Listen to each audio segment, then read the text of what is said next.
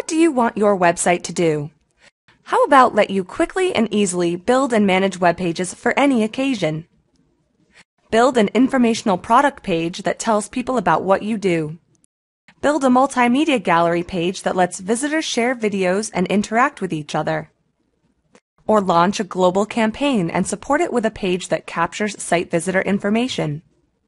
How do you build and manage your web pages today? What if there was an easy way for anyone, regardless of technical knowledge, to create and manage web pages? Ektron CMS 400.net's new page builder functionality does just that. With a combination of wireframes and widgets, web managers and subject matter experts can quickly and easily build new web pages for their site. Not only can they build web pages, they can leverage functionality like permissions, approvals, workflows, history, web alerts, and search engine optimization at the page level as well.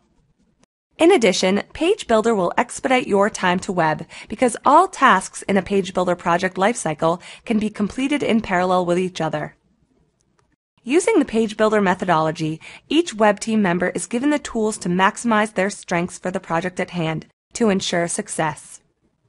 Page Builder lets anyone, regardless of technical experience, build and manage web pages for their website, intranet, or extranet. Meet Jane. Jane is the web production manager of Ektron Tech's website. The first page that Jane needs to build is an informational product page. She can begin by accessing the Ektron Tech website and logging in. Next, she can navigate to the area on the site where she wants to add the page to. Since Jane has permissions to create new pages, she can create a new page from this existing page. Once Jane clicks on New Page, the Add New Page wizard opens. On the first screen, she can specify a title for the page. While she is typing in the title, a suggested alias is offered. Jane can keep or change this alias if she wanted to, but she will welcome the suggestion and keep it. Next, she can pick the page extension to be applied to the page.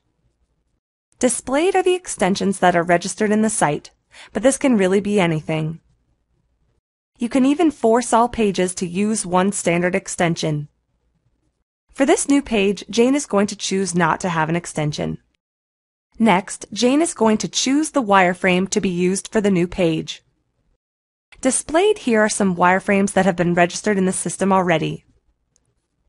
The automatically generated thumbnail also shows the location of the drop zone within the wireframe.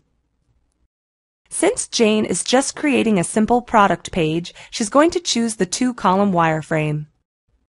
On the next screen, Jane can optimize the page to search engines by specifying title, keywords, a description, and any other additional metadata for the page. In the Taxonomy tab, she can categorize the page to specify how people can navigate to the page or filter in the search results. And in the Summary tab, Jane can include a brief summary about what the page is, which will be used in search results on the site. Once completed, Jane clicks Finish.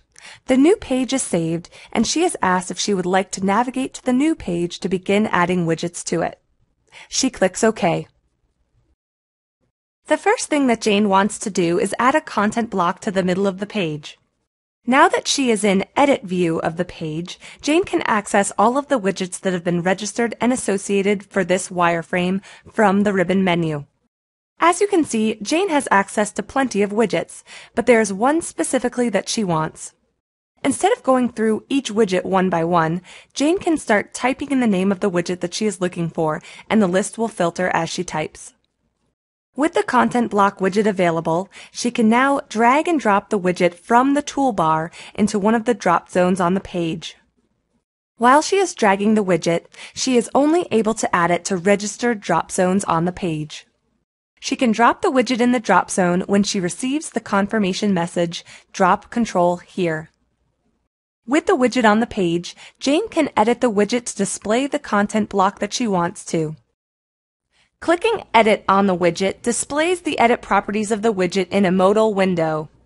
From here, Jane can find the content by browsing the folder tree via the taxonomy or doing a straight-out search.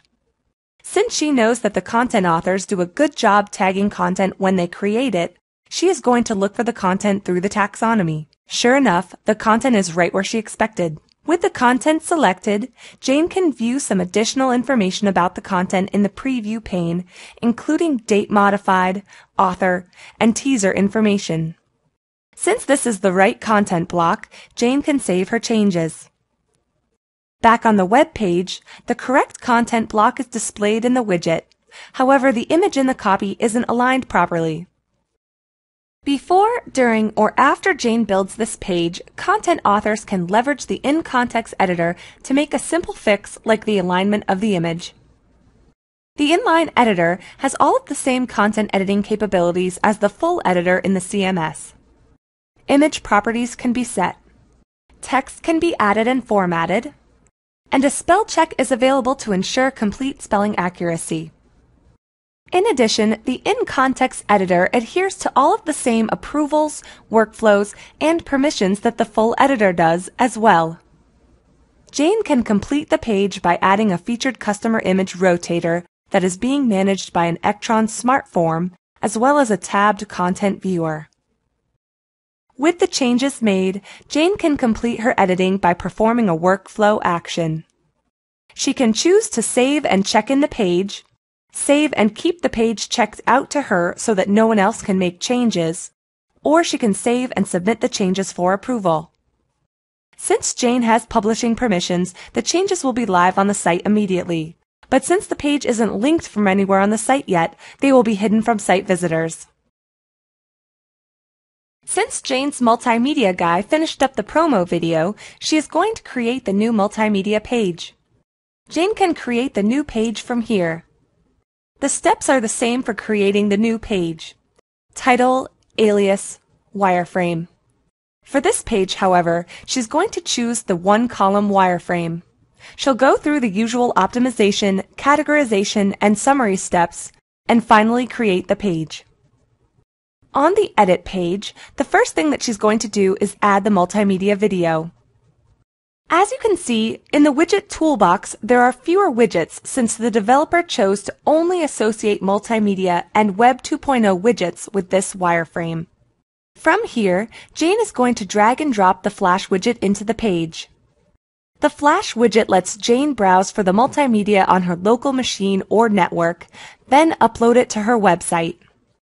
Once uploaded, the Flash widget offers other properties to Jane including height, width, auto start, and even lets her choose a graphic that will appear on the movie before someone clicks play. With the changes made, Jane can click Save and the Flash video is now displayed on the page. If Jane wanted to, she could have used the YouTube or Brightcove widgets to host the video on those content delivery networks and stream them into her site. Jane will finish up the page by adding some Web 2.0 functionality like a message board and the content review or five star rating widget. Even though the required widgets are used on the page, Jane isn't totally happy with the look and feel of the page. Since the developer set this drop zone to allow people to add additional columns, Jane decides to make this a two-column layout instead. She can now drag and drop widgets from one column to the other. Since Jane has the tools at her fingertips to build the new pages on the Ektron Tech site, the new product launch went off without a hitch. Visitors learned about the product, watched the video, and provided some useful feedback. And the team even got a handful of leads from the campaign that went out. Jane can't take all of the credit for the success. She wouldn't have been able to build the pages if it weren't for her developer, Tom, who had built the wireframes and widgets for the site. Let's take a look at the developer's role in page building. Ektron's Page Builder is flexible and easy to use, allowing anyone to build and manage pages on their website. Building pages is easy because of the Add Page Wizard and the ability to drag and drop widgets onto your web pages and easily set their properties. By combining wireframes, widgets, and Ektron's revolutionary URL aliasing technology, you can create and easily manage an infinite amount of pages on your site.